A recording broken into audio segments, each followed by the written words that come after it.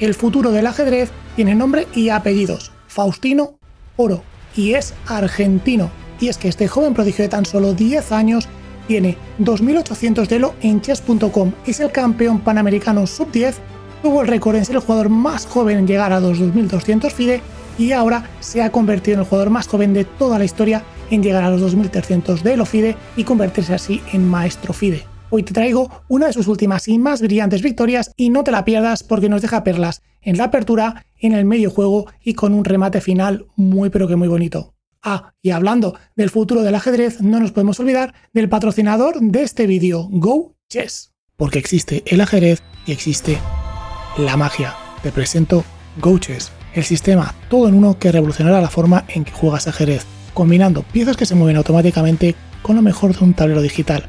Y es que, gracias a su tecnología innovadora, las piezas se moverán automáticamente, permitiendo así el seguimiento de movimientos en tiempo real e incluso la configuración automática de ejercicios.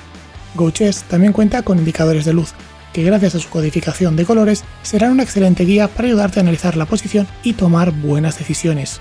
Por supuesto, también podrás usarlo para jugar con tus amigos contra una inteligencia artificial o gracias a su aplicación móvil para jugar en líneas en plataformas como liches y chess.com. Pero, como te dije, este es el futuro del ajedrez, así que sé parte de él y utiliza el enlace que encontrarás en la descripción del vídeo para visitar su página de financiamiento en Kickstarter y ser el primero en experimentar el futuro del ajedrez. Veamos, por tanto, esta espectacular partida. Faustino, que juega con las piezas blancas, empieza con E4. Su rival contesta con E6 y tras D4 y D5 tenemos planteada ya la defensa francesa. El blanco decidió continuar con caballo D2, la variante Tarrasch. Y aquí las negras tienen muchísimas opciones. Pueden continuar con D por E4, la variante Rubinstein. Pueden continuar con la jugada C5, la variante abierta, o con caballo F6, la variante cerrada. Sin embargo, en esta ocasión, las negras eligen continuar con una jugada muy secundaria, la jugada caballo C6, que tiene una idea muy clara y es aprovechar que el blanco ha jugado caballo D2 para amenazar el peón de D4, ya que habrá el caballo obstaculizar a la dama en su defensa. Entonces es una jugada tan lógica porque es secundaria. Bueno, pues porque caballo C6 está bloqueando al peón de C7 para poder ir a C5, que es el principal contrajuego contra el centro del blanco en la defensa francesa. Así que veamos, por tanto, cuál es la idea. Las blancas responden con caballo F3, como digo, hay que defender el peón, y ahora, tras caballo F6, se pone aún más presión sobre el centro y prácticamente fuerza al blanco a jugar con E5, caballo D7, y aunque la jugada alfil de 3 pueda parecer muy lógica, ya que el alfil en esta diagonal está muy bien situado, realmente no sería la mejor opción, ya que las negras podrían continuar con caballo B4, ganan un tiempo al amenazar el alfil de E3, y ahora sí que se libera el peón de C7 para venir a C5 y presionar esta cadena de peones blanco.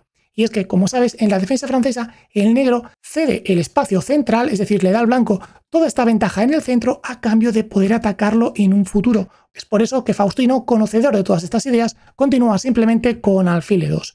El alfil está bien situado en e2, ya lo podrá reciclar en un futuro si es necesario por e3, pero por ahora tenemos que continuar con el desarrollo. Las negras hacen lo propio, alfil e7, y tras enroque corto y enroque corto, llegamos a un momento muy pero que muy interesante de la partida. Aquí el blanco podría continuar con una jugada lógica como podría ser simplemente jugar con c3, después alfil d3, torre 1, quizá dama b3, bueno, planes típicos que se basan en cimentar esta estructura de peones, es decir, asegurarte que el negro no la pueda atacar fácilmente. Sin embargo, Faustino lee muy bien la posición y hace una jugada que me gusta muchísimo. Continúa con la jugada C4. Y es que, ¿para qué jugar sólido con C3, torre 1, si tu oponente no puede romper con C5 y presionar D4? Es decir, si estás jugando con caballo C6 y por tanto no vas a atacar rápidamente al centro, pues te lo ataco yo. Y aunque parezca una tontería, esta jugada demuestra una gran comprensión de la apertura y es que no está siguiendo los planes típicos, sino que está siendo capaz de identificar cuáles son los problemas en el plan que ha jugado su oponente y reaccionando de la mejor manera, aunque no sea la forma típica. Sin duda, demostrando una gran madurez a nivel ajedrecístico. Las negras continúan con F6 y es que sinceramente no tienen otra. Están obligadas a reaccionar ya. Le han permitido ganar espacio y si encima es el blanco el que te ataca a ti, el poco centro que tengas, la partida pues va a durar pocas jugadas más. Así que, buena decisión. Las blancas continúan con C por D5 y tras E por D5, E por F6 y alfil por F6, se llega a una posición que puede parecer relativamente tranquila. Sin embargo, es una posición que se va a complicar y mucho en pocas jugadas. Así que atento. Las blancas continúan con torre 1, trayendo la torre a la columna abierta y además poniéndole una pequeña trampa al negro ya que ahora le están invitando a jugar con caballo por D4. La idea que tras caballo por D4 y alfil por D4 se continúe con caballo F3, y aunque parezca que tras alfil F6 y dama por D5 jaque simplemente se ha recuperado el peón, lo que sucede es que tras rey H8 el blanco se queda muy pero que muy bien. El blanco no tiene ninguna debilidad y el rey negro está muy débil. Planes como dama H5 y alfil de 3 amenazando ya mate en H7 son muy directos. Además, se pueden venir a apoyar con caballo G5, presionando aún más en H7 y encima en F7.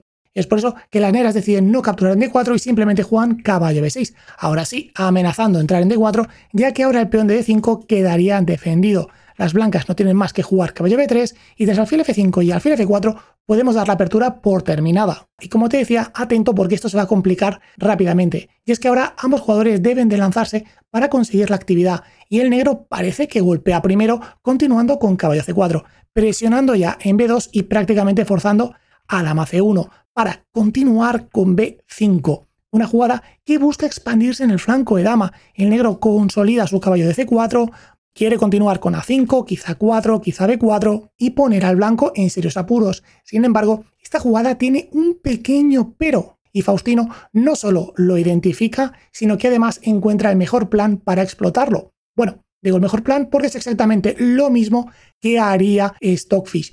Y es que la jugada B5 debilita la casilla C5. Ahora, un caballo que llegue a esta casilla puede ser igual de peligroso que el caballo de C4, si no más. Es por eso que Faustino continúa con dama C3, una jugada que me encanta. Está consiguiendo controlar el peón de D4. Ahora está bien defendido con la dama y el caballo y en un futuro puede jugar C5 tranquilamente y además conecta las torres, permitiéndole traer la otra torre también al centro y si hace falta consolidar más aún el peón de D4. Y la verdad es que las negras no pueden permitir que el blanco juegue tranquilamente caballo C5, porque jugará caballo C5, después expulsará con B3 al caballo C4 y dominará la posición. Es por eso que continúan con alfil E7. La idea muy sencilla, que tras caballo C5 continúen con alfil por C5 y de esta manera se elimina el caballo. Además, pudiendo continuar con B4, ganando otro pequeño tiempo al amenazar la dama. Pero el blanco lo tiene todo controladísimo. Continúa simplemente con dama C1 y cuidado que ya se está amenazando alfil por C4 y tras D por C4, simplemente dama por C4 es jaque y gana un peón. Por tanto, las negras tienen que dejar esa expansión para defenderse y continúan con la jugada caballo 4 a 5. Una jugada muy lógica, se defiende de la amenaza. Y ahora otra jugada a nivel estratégico muy buena.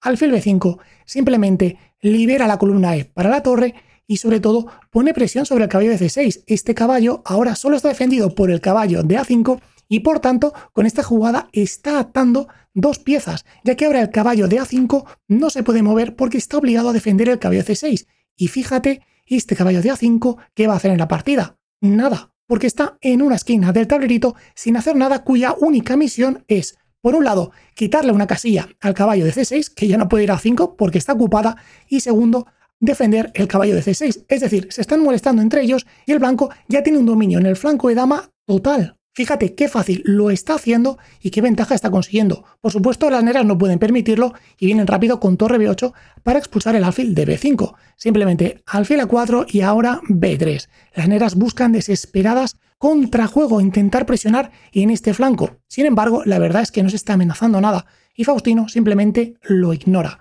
Continúa con alfil G5 amenazando la dama y tras dama C8 simplemente alfil de 2. Ahora el blanco pone presión también sobre el caballo de A5, por tanto el caballo C6 tampoco se puede mover en ningún momento porque caería este caballo y además ha conseguido llevar la dama de D8 a C8 y ahora el peón de D5 no tiene quien lo defienda. Las negras intentan activarse con alfil C2, pero simplemente A por B3, alfil por B3 y alfil C3. Y fíjate qué posición tan dominante tiene el blanco. Las negras están totalmente descoordinadas. El caballo en A5, como hemos dicho, no hace nada. El caballo de 6 ahora está defendiendo el caballo de A5. La dama en C8 no hace mucho, ni siquiera está defendiendo el peón de D5. Sí que es cierto que la torre de B8 está en una columna donde puede llegar a entrar por B2, pero no hay problema porque está bien defendido por el alfil de C3 y es el blanco quien sí que está activo. ¿Por qué? Pues porque tiene un alfil en C3 que es un monstruo controlando esta diagonal, puede venir rápido a coordinarse con la dama para incluso ya empezar a amenazar mate, controla la columna E con su torre de E1 y jugar con blancas es muy pero que muy fácil. De hecho, me cuesta sugerir una jugada para el negro. Es difícil encontrar planes. Parece que no, pero a nivel estratégico el dominio es tal que las negras están desesperadas. Y es por eso que el negro intentó una solución extrema y decidió continuar con torre por F3. De manera que tras G por F3 al menos se cree una debilidad que atacar en la posición blanca, en este caso el rey de G1, ya que ahora está muy pero que muy débil. Además, tras este sacrificio, las negras pueden continuar con alfil por A4 y tras torre por A4 caballo B3, ganando un tiempo al amenazar la dama y probablemente capturando después en C5. El problema que el blanco llega muy rápido, este sacrificio no es suficiente.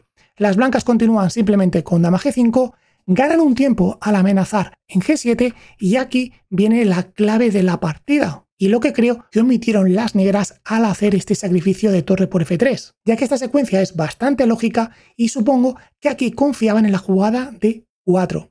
Sin embargo, que las blancas tienen una combinación que decide la partida. Pero primero veamos por qué confiaban en la jugada de 4, es decir, qué necesidad de hacer esta jugada. Bueno, como hemos dicho, el blanco tiene una posición dominadora. Este alfil es un monstruo. Ya se está amenazando mate. Además, quiere jugar con torre G4 y traer más piezas al ataque, coordinándose con la dama. Por tanto, esta jugada de D4 es muy importante, ya que bloquea la diagonal del alfil, que ahora ya no puede atacar en G7, y además bloquea a la torre de A4, que ahora no puede venir por G4. Sin embargo, como te decía, hay una idea ganadora. Y una idea que la verdad no es fácil de ver, ya que implica entregar el alfil de C3, que es tu pieza clave, pero que si es lo que decidió jugar Faustino Oro, el futuro del ajedrez, y también es la línea que recomienda Stockfish, pues bueno, está claro que es la idea ganadora. Y es que las blancas pueden jugar simplemente con dama de 5 jaque y tras rey H8, su idea es cambiar la caballo C6 por el alfil de C3, es decir, jugar dama por C6 y permitir D por C3. El problema para el negro, que ahora se ha vuelto a abrir la cuarta fila para la torre, pero no para venir por G4, sino para venir por E4. Y ahora la amenaza, torre E8, no solo jaque ganando la dama, sino además prácticamente decidiendo la partida porque es que es mate, es prácticamente inevitable. Sin embargo, las negras aún encontraron una idea muy pero que muy interesante que permitió todavía poder luchar por la partida. Pero antes de verla, quería resaltar los puntos clave de la partida y cómo el blanco ha demostrado un dominio en todas las áreas del juego. Primero la apertura con ese F4, saliéndose de las ideas principales y castigando ese caballo C6 del negro. Después en el medio juego con ese alfil B5 estratégico, ese dama C3, esas ideas que le han dado la posibilidad de luchar. Y después con ese golpe táctico de dama D5 y dama por C6. Y es que recordemos, estamos hablando de un chavalín de 10 años. Simplemente espectacular. Bueno, ¿y cuál era esa defensa que tenían las negras? Bueno, pues la jugada dama G8. La idea que tras torre E8 ahora no es jaque, no se está dando mate, las negras pueden defenderse del mate y generar cierto contrajuego, ya que ahora pueden intentar coronar el peón de C3 que está apoyado por el caballo de B3. Veamos esa idea. Su plan, continuar con caballo de 4 ganando un tiempo al amenazar la dama y tras torre por G8 jaque y torre por G8, una vez la dama se mueva, en este caso a D5, continuar con caballo C2. Se gana otro tiempo al amenazar la torre, torre B1, hay que defender el peón de B2 y ahora simplemente caballo B4. Se vuelve a amenazar la dama y una vez se mueva, dama B3, continuar con C2. El peón ya está en séptima fila, amenaza la torre, forzada prácticamente torre C1 y ahora simplemente torre D8, buscando en algún momento jugar torre D1 y tras un posible cambio coronar. Sin embargo, esto no es suficiente y las blancas pueden simplemente ignorar la amenaza, ya que tras dama por b4, aunque venga torre de 1 jaque, el blanco no está obligado a capturar. Puede jugar simplemente rey g2 ignorando la amenaza y las negras ni siquiera pueden jugar torre por c1 porque dama b8 es jaque mate. Y por eso las negras abandonaron. Y así es como juega el jugador más joven de la historia en llegar a los 2300 de Elo FIDE. Si esto no es ser el Messi del ajedrez, pues ya me dirás tú. Espero que hayas disfrutado con esta magnífica partida y nos vemos en el siguiente. Un saludo.